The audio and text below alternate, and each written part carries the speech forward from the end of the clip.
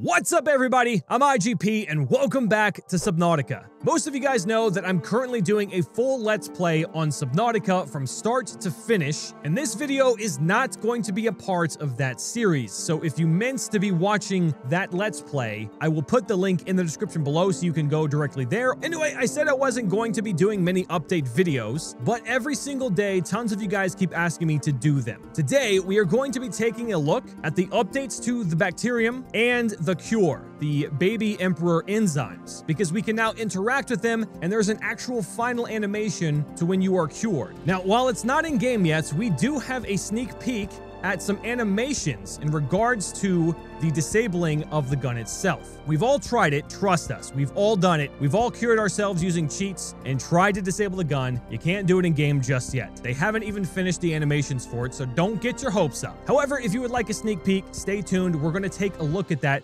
later on. Now, since we're at basically the closing of the Kharaa and the Cure in the game, we're going to take a look at how it progresses. But first, Let's talk about the Kharaa for those who may not be aware of what it is or may be behind on the changes that have been made to it. As it says on the wiki, the Kharaa is an alien bacterium discovered by the precursor race during the exploration of an unknown planet. It seems to have completely taken over planet 4546b. Now, this has deviated from the original story, which was that the precursor race had created the Kharaa. It is stated in precursor data that the Kharaa bacterium has killed over 143 billion individuals over the course of time since its discovery, I'm assuming from the precursor race, not just when it was originated. I'm not sure that we ever will know the details of how the Kharaa even started, but as any other bacterium would, I guess we can guess. Their core worlds were quarantined off, and research facilities such as the one on 4546b were created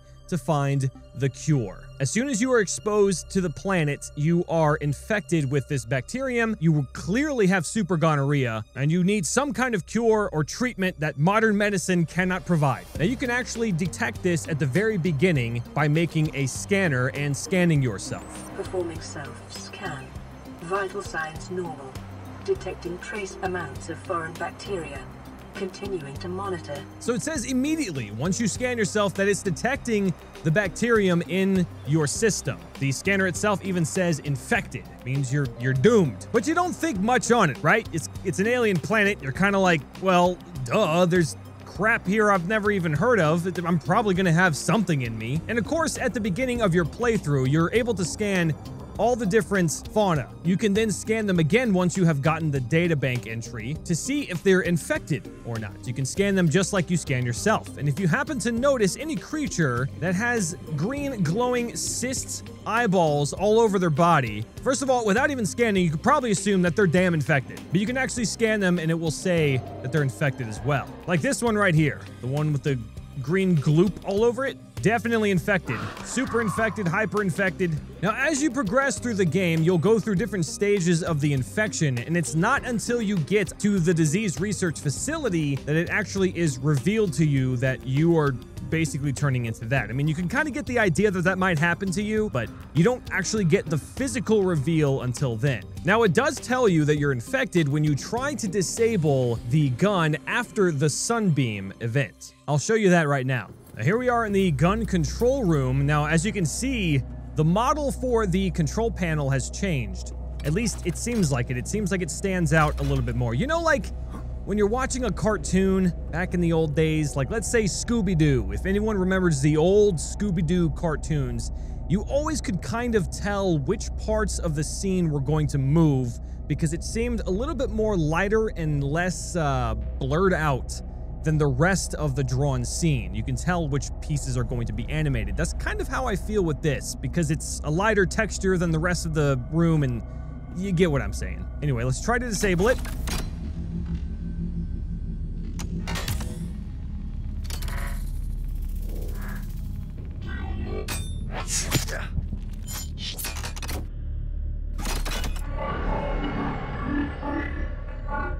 The control panel is broadcasting a message. Translation reads, Warning, infected individuals may not disable the weapon. This planet is under quarantine. And it just sets in like, holy shit, what's going on on this planet?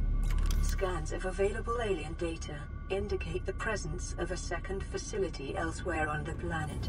Evidence suggests it is located 800 meters below sea level, approximately one kilometer southwest of this installation. Information recorded to data bank. Now, obviously, they're trying to push you to, to chase the story, to go down the rabbit hole, to find the cure, so all of these things will take place. Now, when we scan ourselves, we should get a different description. Performing self-scan. The bacterial infection in your system has progressed. Detecting skin irritation and immune system response. Further data required to identify bacterial strain. So it says further data, again probing us to go to the disease research facility, which will tell us a little bit more. So we're going to head there next. Data pertaining to the bacterium is being downloaded. Caution. Detecting atypical fluctuations in blood plasma proteins. A self-scan is strongly advised. Performing self-scan. Bacterial infection has spread to the skin and pulmonary system. It is imperative you find a way to neutralize the infection.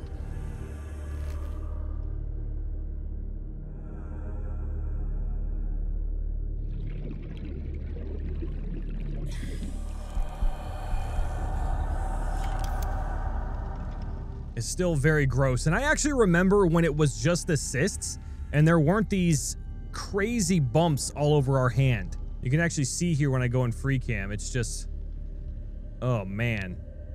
Can you imagine? So then you follow the story and you eventually get to the aquarium. So that's where we're going to head next. Now, there have been some changes in regards to the sequence itself. Not too many, but you'll notice it.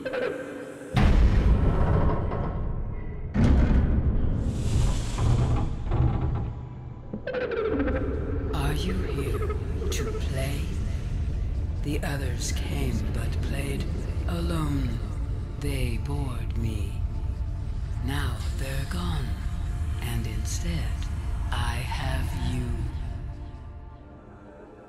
So the things you'll notice in the sequence is that there's a lot more music happening, especially in the later parts of the sequence itself. Uh, the baby emperors now make sounds, which you'll hear as well, which is unbelievably cute.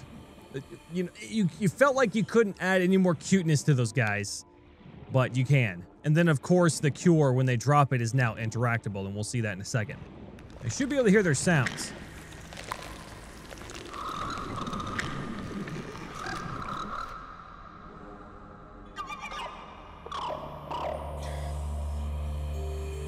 Oh my god.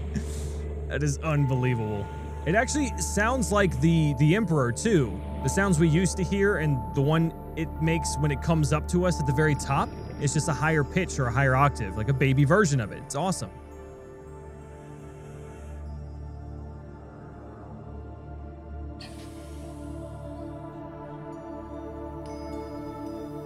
Listen to that music.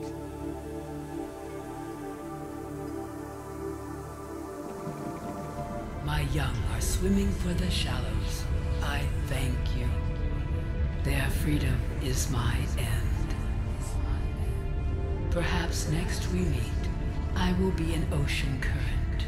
I will carry seeds to new lands, or a creature so small it sees the gaps between the grains of sand. Farewell, friend.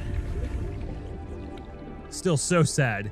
And if you listen very carefully to the music, let's get close. I think it triggers when I get close. Maybe.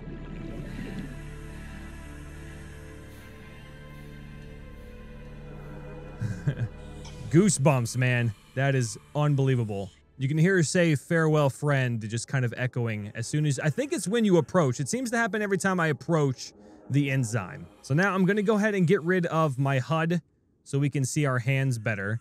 And let's take a look at the animation when we cure the Kharaa out of our system.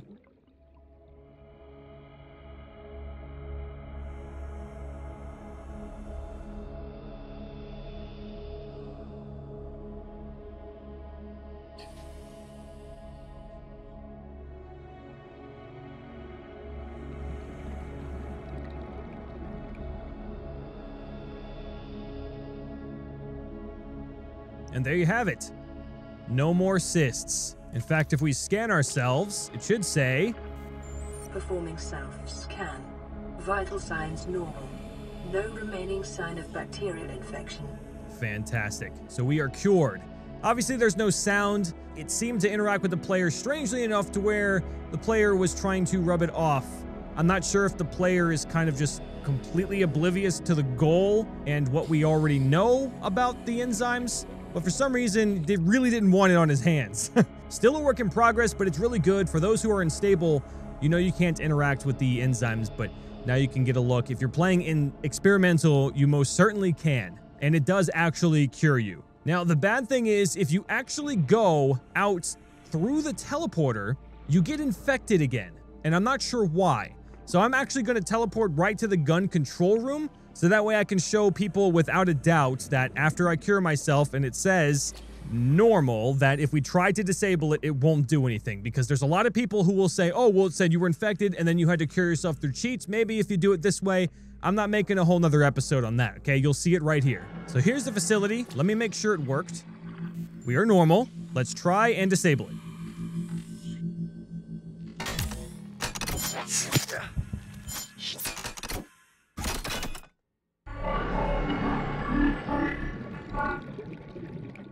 And there you have it.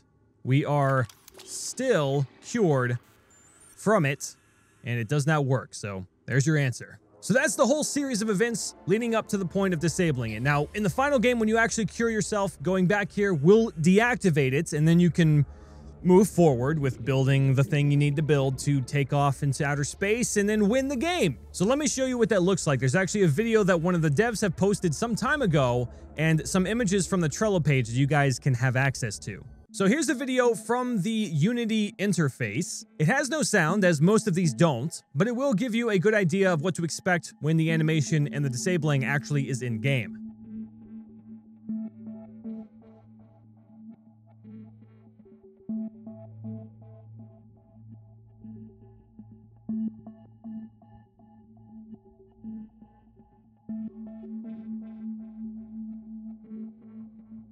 So the control terminal seems to have a energy core. It's actually the part of the gun that you can scan, I believe. But it seems to kind of disconnect, if anything, as if that core is the connection between the two in order for it to be on, like an on-off switch for a circuit. The middle column raises up and the core kind of lowers. And I'm not sure what we can actually do after that. If this is just it, after the animation is done, then it's disabled, or is there another step? Is there something we have to put in there?